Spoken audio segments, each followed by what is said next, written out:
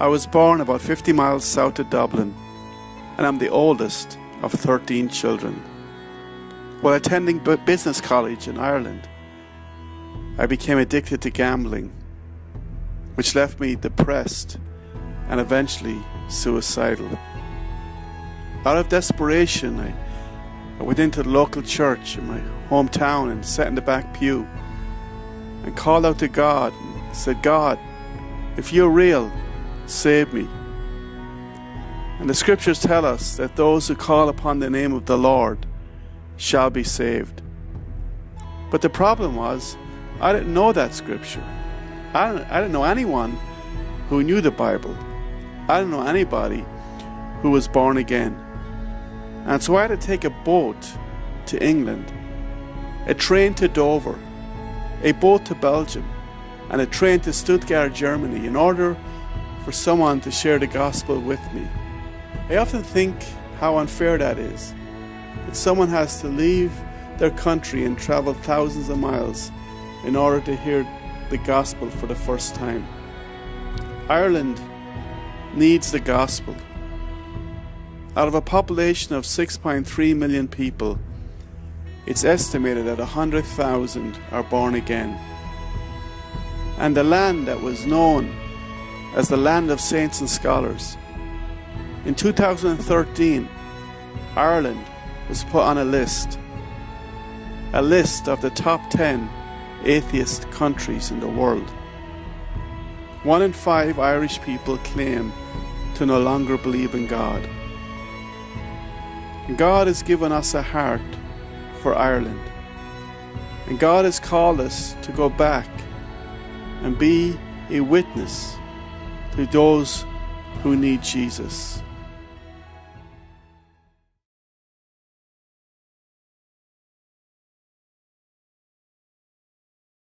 Wow.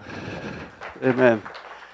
You, know, I, I tell people I come from a small Irish family because we had neighbors who had 21 kids and neighbors who had 18 kids. So uh, we were, we were, we were, uh, you know, but we were probably one of the biggest, obviously, families in the area. But um, yeah, it's, uh, and the interesting thing is our first term, uh, we went back to uh, an Assembly God church in my hometown.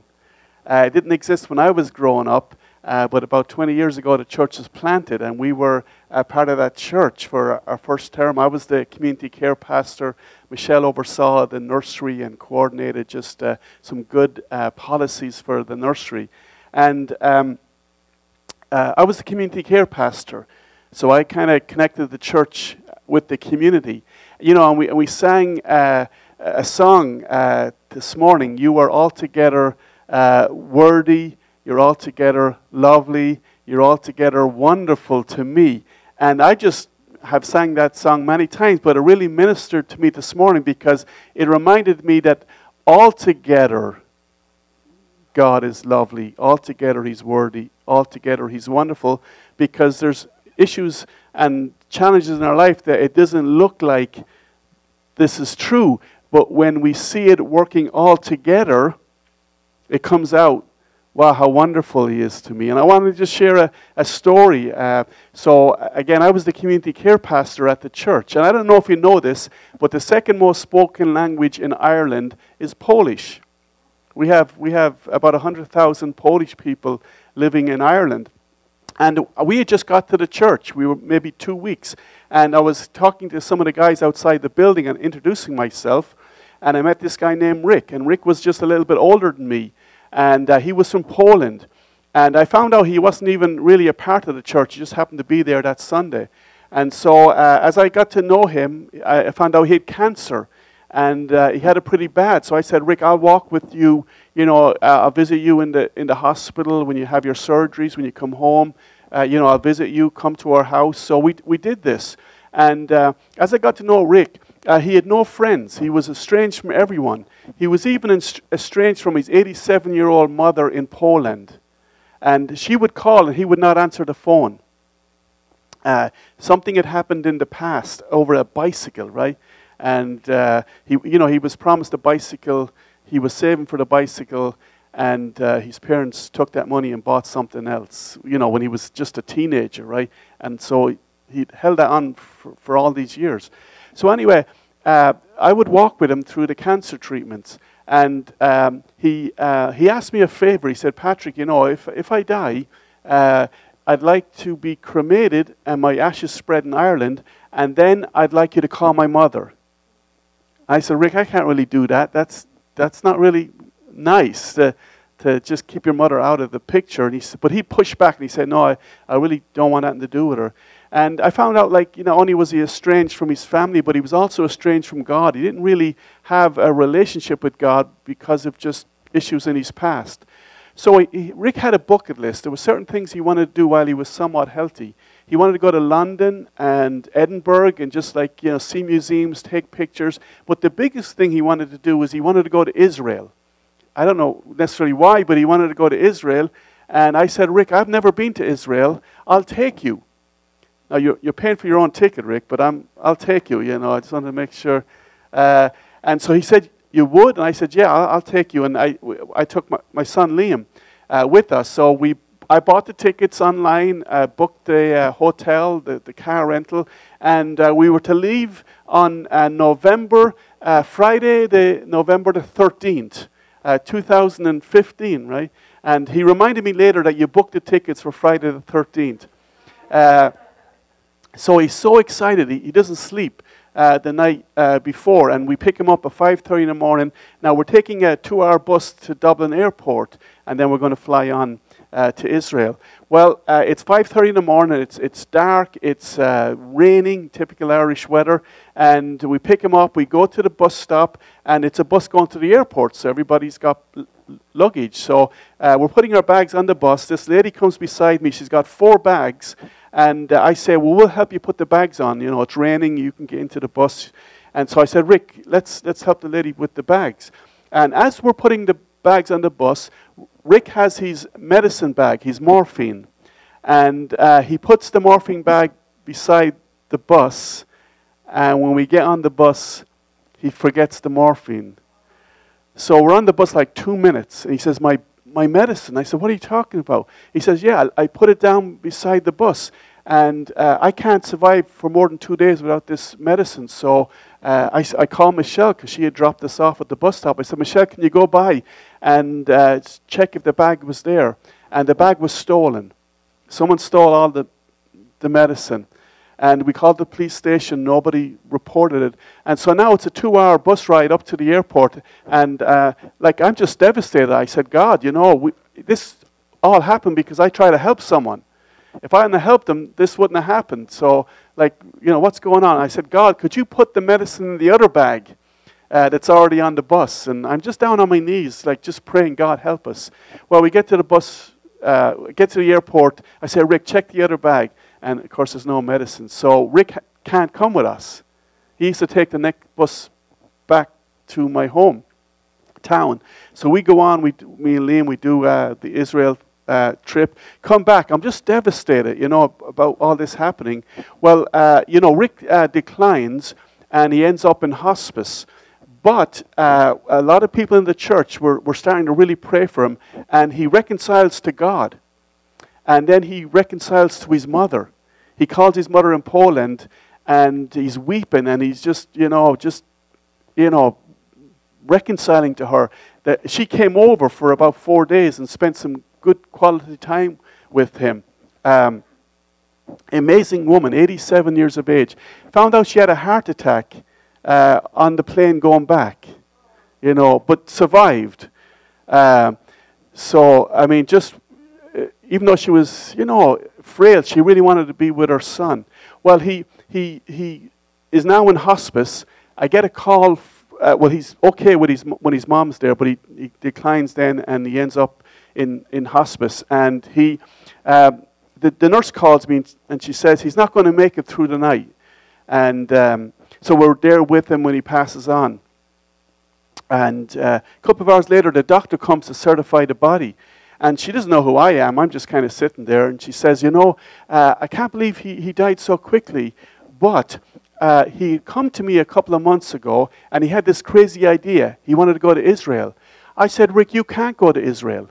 Uh, your chest is so bad. He says, No, I want to go. Can you just sign off that I can go? And she said, I don't really want to do this. He says, No, I really want to go to Israel. He says, Okay, Rick, I, I'll sign off on it. But I'm telling you, you won't survive the plane trip because your chest is so bad.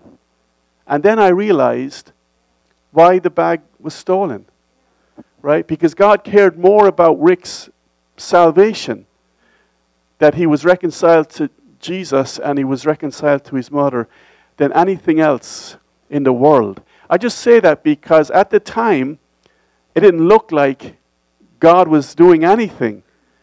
But the Bible says that all things work to good to them that love God and are called according to his purpose. Amen. So I just say that to encourage us. Like, you know, things happen in our life, and we say, Is this God?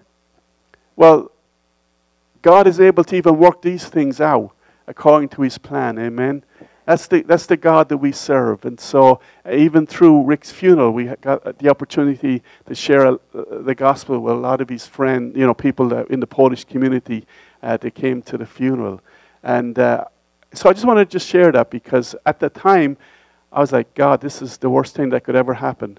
But it actually was the best thing that could ever happen. Amen. Because Rick's now in heaven and he's, uh, he's doing well, you know. Uh, so when we when we uh, return in August, so we're we're home itinerating. Uh, we're going to work with a new church plant that started in Dublin. Because if you saw the video. Uh, of 6.3 million people, approximately 100,000 are born again. So that's uh, between 1 and 2% of the population is evangelical. And so there's vast areas of the country that there's no evangelical witness. And uh, even uh, for for the Catholic uh, faith, they're seeing a drastic decline in numbers. Uh, they say in the city it's down to about 3% attending uh, church. When I was a kid, it was 95%. Uh, so in, in one generation, it's, it's declined drastically. And that's because people are really disillusioned uh, with a lot of things that have happened in the church. And then we have the influ- influence of secularism. And so when we, when we go back, we're going to be working with this new church plant. And, uh, you know, we're, we're going to partner with the community and, uh, you know, uh, do justly and, and, and, uh, and love mercy and just, just connect with them and uh, just see if we can we can find things that we have in common that we can do in order to earn the right to share the gospel with them. And I appreciate the, the church doing Evangelism Explosion because uh, I serve on the Evangel- uh, Evangelism Explosion leadership in Ireland, and uh, we do it at Linfield. Uh, so on Thursday nights, about 10 teams go out uh, from the church in Linfield. And then on Tuesday night, I just started going over to um, Leominster and I'm taking two people out and showing them how to to begin the ministry. So, uh, so it's a great ministry. If you're just feeling if uh, you should do it, uh, I, I think everybody should do it. Every should, everybody should be uh, share, um, trained in personal evangelism. Amen. Uh, and so, we, again, we hope to go back in August, and we're very excited about this new ad- adventure. It, the church meets in the movie theater.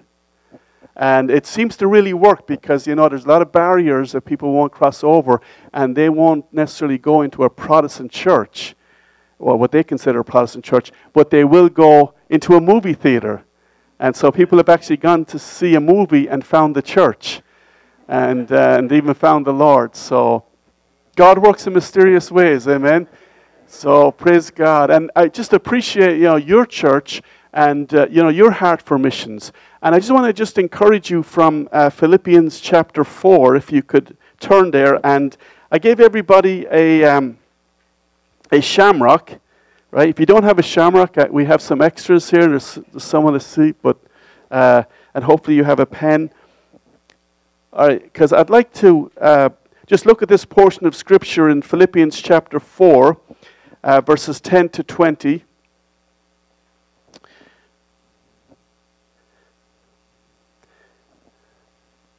And it's a, it's a, a thank you letter that Paul uh, writes to the Philippian church for their partnership in, in helping him to reach the ends of the earth.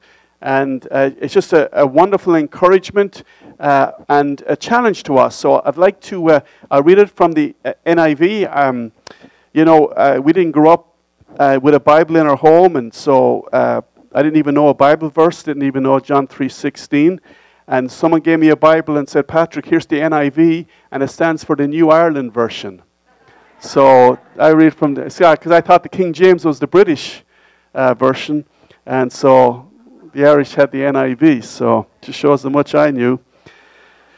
So this is what Paul writes here. He says, he says, I rejoice greatly in the Lord that at last you have renewed your concern for me.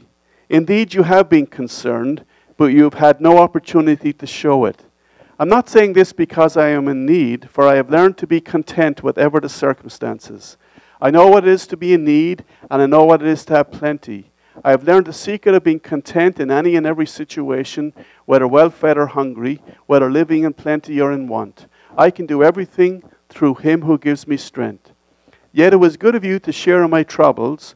Moreover, as you Philippians know, in the early days of your acquaintance with the gospel, when I set out from Macedonia, not one church shared with me in the matter of giving and receiving, except you only. For even when I was in Thessalonica, you sent me aid again and again when I was in need. Not that I am looking for a gift, but I am looking for what may be credited to your account. I have received full payment and even more. I am amply supplied, now that I have received from Epaphroditus the gifts you sent. They are a fragrant offering, an acceptable sacrifice, pleasing to God. And my God will meet all your needs according to his glorious riches in Christ Jesus. To our God and Father be glory forever and ever. Amen. Praise God. So I give everybody a shamrock for two reasons. One is because it's the national flower of Ireland, right? And then secondly, uh, tradition tells us that when St. Patrick uh, was explaining the Trinity, the Father, Son, the Holy Spirit, one God, three persons, and the Irish had no idea how to understand this, tradition tells us that he picked up a shamrock and he said, Look, one flower, three leaves. You know, one God, three persons. And so, uh, and as some of you uh, have shown me already, uh, I, I, give these out, ask you to write a couple of words on it, and then hopefully you can uh, keep it, make it a prayer, and uh, like some people, it could be three, four years later, and they say, "Oh, I still have the shamrocks." So, uh, so I want you to kind of, if you could write this word uh, over the, like the stem, right? Because I want you to leave the three leaves um, free, so you can write something else on that. But if you can write this word, and it's the word renew, R-E-N-E-W, right? So in this portion of Scripture, you know, it's a challenge to us because if we're going to see the ends of the earth reached with the gospel, uh, there are three things that the Holy Spirit has to renew in our lives. He has to renew it not only in our lives, but in the church, uh, in, in Christianity uh, in general. And so I want to look at these three things. Uh, that are found here in Philippians chapter 4. Uh, you know, I think the, the King James might say the word uh, revive, so either renew or revive. And uh, so these are the three things. I'd like you to write, uh, write them on the leaves, right? So, um, so the first one is uh, renew my concern for the lost. All right? So obviously, if we're going to reach the ends of the earth, if we're going to reach this community, uh, the first thing that the Holy Spirit has to renew is my concern for the lost, right? And this is what, uh, you know, we heard when we opened up the service, right? About thinking, you know, uh, am I the Pharisee or am I the tax collector, right? Uh, so renew my concern for the lost. Now, here's the thing. If, if, we, if we were to ask ourselves, well, on a scale of 1 to 10, how much concern do I have for the lost, right? Now, you don't have to raise your hand, you don't have to tell me a number, uh, but uh, just, just think of a number. What, what, what's, the, what's the number of my concern for the lost, right? Okay, now I want to give you, so you have a number, I want to give you the definition of concern. Okay? See, Paul says here, I rejoice greatly in the Lord that at last you have renewed your concern for me. Indeed, you have been concerned, but you have had no opportunity to show it. Okay? So, this word that Paul uses for concern has three factors it's a concern that moves my conscience, it's a concern that moves my emotions, and it's a concern that, remo- that moves my will. Okay? So my conscience is concerned about the lost. My emotions are concerned about the lost. And then, then my will is concerned. I'm, I'm going to do something, right? This is the concern uh, that Paul had, the Holy Spirit wants us to have for the lost, right? And if you just kind of listen to Romans chapter 9, I want to just read um, verses 1 to 3. And we see this concern uh, as expressed in Paul's life. Remember, this concern has three factors. It, it's a concern with my conscience. My conscience is bothered that there's lost people. My emotions are bothered that there's lost people. And my, my will, I, I want to really do something. Uh, and this is what Paul writes about his own concern. He says this in Romans 9, verses 1 to 3. I speak the truth in Christ. I am not lying. My conscience confirms it in the Holy Spirit. I have great sorrow and unceasing anguish in my heart, for I could wish that I myself was cursed and cut off from Christ for the sake of my brothers, those of my own race, the people of Israel. So, so notice, his conscience is moved, right? His emotions are moved. He, he, says, he says, I have great sorrow and unceasing anguish in my heart. And then his will is moved. Listen, his will is moved so much that he says to us, I would rather be un, I would rather lose my own salvation and everybody else be saved. That's that's that's a powerful will, right? And so and so this is the kind of concern that uh, the Holy Spirit wants us to have for the lost. But you and I know that, that that's not, so the enemy does not want us having that concern, right? Right? And so he's got a number of strategies that he uses. And I think one of the things he uses the media, right? You know, we can, we can, we can see a, a terrible disaster, right? And, uh, or we can, we can be told uh, well, it's their own fault, right? Okay. Uh, you know, and what, what that's doing is, is it's not allowing us to have the concern that God wants us to have uh, for all these people who are lost. So how do I how do I how do I have that concern? Let me just give you two quick things from this portion of Scripture.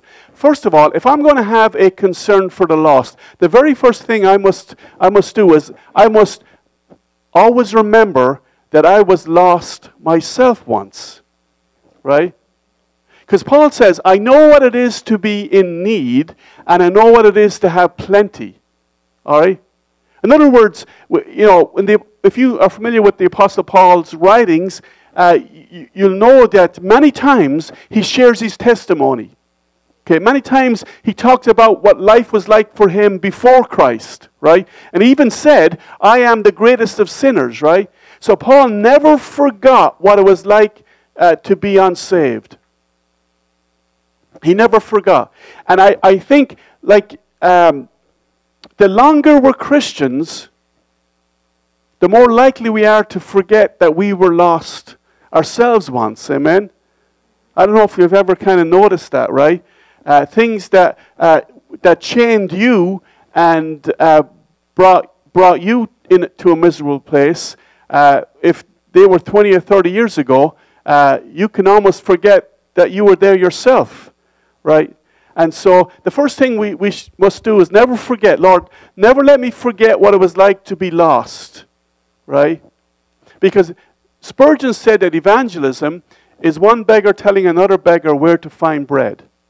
Right? That, that, that's what it is. So, you know, we were lost ourselves one time. And the only difference between us and lost people is the grace of God. Right? So that's the, that's the first thing. We, we should never forget what it was like to be lost ourselves. Then the second thing, which is just as difficult, is that if we're going to have a concern for the lost, we have to strategically make friendships with lost people. Right? Because if I don't know anybody that's not saved on a, on a personal friendship level, I'm going to lose that concern for lost people, right? And so we have to strategically uh, be aware of who's lost around us and, uh, and build relationships with them. Because again, the problem is the longer we're saved, the less non Christian friends we have, right? And, and, sometimes we don't even have any non Christian friends, right? Uh, but we have to strategically make friendships with unsaved people because Jesus, what was, it, what was said about Jesus? He's a friend of sinners, amen? He was always hanging out with sinners, right? The Pharisees were always bothered that he was, doesn't he know who that person is? Right? And so we have to strategically uh, just, you know, ask the Lord, God, who can I uh, befriend uh, so that I can, I can win them to the Lord? Uh, when we, um, yeah, when I pastored in Dudley, Massachusetts, uh, you know, I would go out into the neighborhood and introduce myself to the, to the neighbors, right? And uh, there was a, a, lady across the road from me, and I'd, I'd been just, you know, there a couple of months, and I knocked on the door, introduced myself, said I'm the pastor of the church across the road, and she said to me, it's about time you showed up, you know. You know, I, I mean, she just had that sense of humor. I said, well, I just got here. So anyway, I found out that she was German. She was actually from Germany and uh, she had come just after the Second World War, and uh, she was uh, Lutheran. And when she arrived in, in Dudley, Massachusetts, someone came to the door and said, You know, we, we know you're from Germany, we know you're Lutheran, but you can't come to our church unless someone comes and invites you. And no one ever came and invited her. So I don't know. I don't know what kind of church that. Obviously, it doesn't exist, exist anymore because you're not going to grow if you do that. But, uh, but I, I, I, did the EE with her, the Evangelism Explosion, and uh, I led her to the Lord. And then I would come over and visit her, and she would always hold up the tract and say, I still, I have the tract. I read the tract all the time. So, you know, I, I you know, it, it's just like, Lord, who would you want me uh, to just be a friend to, right? In order to possibly have the opportunity to share the gospel with them. Amen. So God, God, when you might concern for the lost, right? When you might concern for the lost. The second thing that we need to uh, ask the Holy Spirit to renew in us is our commitment to give. Okay, our commitment to give, right? You know, this is, I mean, you got to practice there. You got three offerings there. That's, that's, that's a lot of offerings. Amen. So you're, you're getting you're getting thrown right into the deep end today. But um, renew my commitment to give. You know, Paul, this is, this is incredible because Paul says about the church of Philippians, he says, Nobody shared with me in the matter of giving and receiving except you only. So we have this picture of the, the New Testament church uh, as perfect. But notice what Paul says. He says, You know, I asked other churches to support me, but they wouldn't. The only one that supported me is you. He says, No one else partnered with me in this matter of giving and receiving except you only. Why is that? Well, notice the order. No one else partnered with me in the matter of giving and receiving. Which came first? Giving, amen? He says, No one partnered with me in this giving and receiving except you only, because everybody else, it's receiving and then giving. Right? But the Bible says it's more blessed to give than receive. Why is that? Why is it more blessed to give than receive, right? Well, Paul tells us. He says, he says, in verse 8, he says in verse 17, Not that I am looking for a gift, but I'm looking for what may be credited to your account. In other words, it's more blessed to give than receive because every one of us has an account in heaven. And Paul says, you know, I, am not, I, thank you for the gift. Thank you for sharing in my troubles.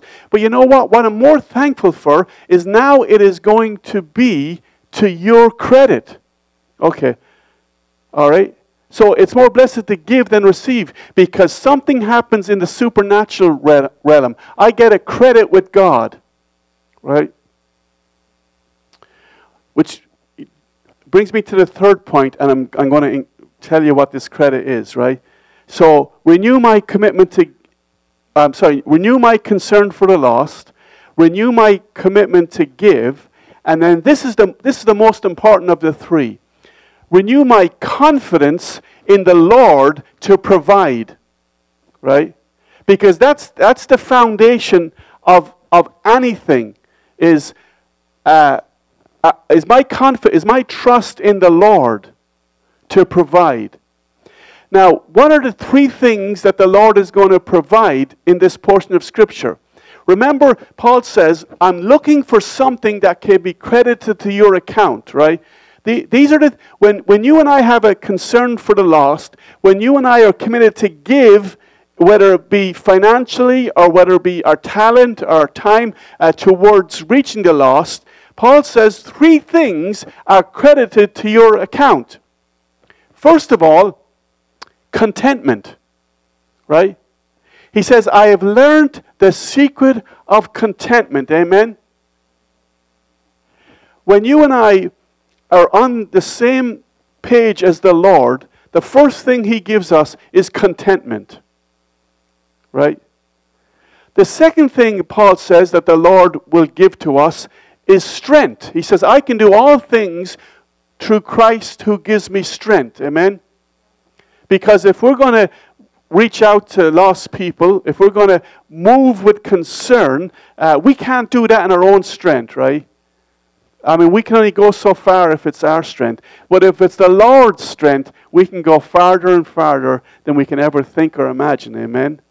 And then the last thing he, he says is, you know, and my God shall supply all your needs according to his riches and glory in Christ Jesus. So the third thing that the Lord, we can be confident in the Lord to provide, and that is resources. Amen? We can provide resources. Uh, God will provide all the resources we need if they're being used to reach lost people. Amen? And so the issue is because what can often happen is okay, okay, God, you said that you provide contentment, that you provide strength, that you provide the resources, provide them, and then I'll show concern for the lost. And it doesn't work like that. It's as we move with concern, God provides. Amen? God provides. As, as we move with concern. You know, we, we, we did a missions trip to Scotland, um, and um, we were uh, working uh, on just renovating the building, and uh, we ran out of um, we ran out of pipe. Uh, one of the guys in our group was installing like uh, copper piping, and um, and so what he what he had to do then is he had to take uh, a piece that we had bought that was the wrong size and bring it back like to a like a Home Depot um, and you know get the money and then hope that we could get enough uh, to buy the smaller pipes that he needed. But there was no way we didn't have enough money. So we're walking through the parking lot going into the Home Depot um, in Glasgow, Scotland. And next thing I we hear this voice, "Hey, what are you doing with that pipe?" And we're like looking around, and there was a van with an older guy there, and we were like, "Well, we're just returning it, and we're going to, uh, you know, get our money back and hopefully buy what we need." And he says, "Oh, I, I have pipe at my house." Okay, yeah, I'll just just go get the money, return the pipe, and I'll sell you the pipes. So we go. Abraham, he goes in and gets the money, and then this total stranger, we get, we get in the van with him, and, uh, and we're driving through these side streets in Glasgow, and I'm trying to share the gospel with him. Uh, he, he's not interested. And I'm like, nobody knows we're with this guy. And uh, we pull up to a side street into like his home, and he's got a shed. And all the pipes that we need are in the shed and he just takes the money that we got from the other pipe. You know. I mean, only God can do something like that, right? The guy's not even interested in the God. He only wants to make money. He's got this pipe and that he wants to get rid of, and he just wants the money, you know. So that's the kind of God that we serve, amen. But we only find that out when we're moved with concern for the lost, amen. And so, uh, you know, for those of you who are going on to Haiti or thinking about going to Haiti, yeah, that's an expression of concern for the lost, amen. That's an expression of your commitment to give. And I don't know what the cost is, but if God wants you there, He will provide. Amen. He will provide. You be obedient. You just say, I want to go, and the Lord will provide. Amen. Amen. Thank you so much uh, for just listening and uh, just just pray that you know um, maybe come back in four or five years. I mean, we just we'll just see the, the whole community uh, at least have an opportunity to hear the gospel. Amen. So thanks so much.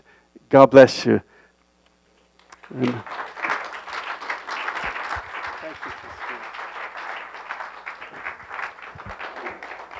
All right, Mr. Byron, leader of Evangelism Explosion in the days ahead. If anybody pulls up with a van and says, Follow me to my shed, just pray first, make sure it's a God thing. Now, it is cool how the Lord works. You know, I'm not a mathematician by any means, but 6.3 million people and about 100,000 have any claim of allegiance to Christ. That's just over one tenth of 1%. And I say that for a couple of reasons. Number one is we pray the Lord's blessing over you folks as you go into a very tough community and tough area spiritually. You know, we, we really don't think of places like Ireland as being a tough place to reach, but when you really consider one tenth of 1% of the population, and when you think of that, we're not that far behind here in New England.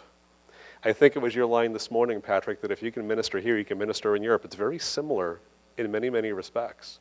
And, you know, when, when he was a young man in Ireland, maybe 95% of the people had any kind of a claim to faith. And now it's down to that. I can tell you, Taryn, I'm going to borrow one of your numbers. Among the newer generations, it's down to 3 or 4%. So there's this decline that's happening. But I believe that the Lord is also capable of doing incredible things. And I love the fact that we can get behind you and your family and support the work. And I want to share a verse with you that I tend to share when missionaries come through, written by the same author that you quoted extensively this morning, the Apostle Paul. And I'm actually borrowing one of the verses that you alluded to. It says the following Everyone who calls on the name of the Lord will be saved.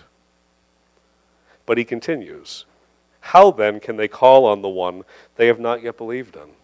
And how can they believe in the one of whom they have not heard? And how can they hear without someone preaching to them? And how can anyone preach unless they are sent? As a follower of Christ, and as followers of Christ, we all have a role to play in that grand scheme. We are all called to be witnesses. Please don't think that just Patrick and his family are missionaries. They are uniquely called to go to a nation specifically, but we are all called somewhere. I look across this room, I see, I see all kinds of witnesses to all kinds of communities, to all kinds of age levels, to all different manner of venues, whether it be middle school, high school, elementary school, the job place homeschooling and beyond, we are called to be witnesses. But we're also called to give, and we're also called to sow into the ministries of those who are the ones who are going. How can Patrick go to Ireland unless he is sent, unless there are people back here who are willing to support him? So this morning we have an opportunity to do exactly that. So, ushers, if you would come forth, I want to say if you are going to give via check, please make the check payable to New Life Assembly of God, and we'll just cut him one check, but we're going to pray. And then we're going to collect. Father, we pause. And in the midst of our own personal busyness, as we are overwhelmed by our own personal concerns or family concerns or concerns regarding the things in our day to day lives, there is a greater concern that I pray that you would open our hearts to. And that's a concern for those who don't know you. Lord, Patrick asked on a scale of 1 to 10, what's your concern for the lost? And Lord, if we were to truly give a number to that, I think we would, we would be dismayed at where it really is. But wherever we are, God, on that spectrum, that you would intensify our passion for those who don't know you. Because, God, it's bigger than just us in this room and it's bigger than just the churches. There is a mission that you have called us to. And there are people that you have placed in our lives that you are, that you are calling us, inviting us to reach. Help us to do that.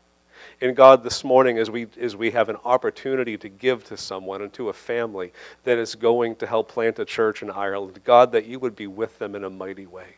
Lord, that you would empower them, that you would strengthen them, that they would have every resource, earthly, supernatural, and beyond, to do the work that you have called them to do. Keep them in health, add your favor and blessing, put the right people around them, God, to advance the work of your kingdom. You already have the plan and everything lined up. Help them to be faithful, to walk through every open door. And Lord, I pray that you would bless this offering as we choose to give. In Jesus Christ's name. And everyone says, Amen. Well,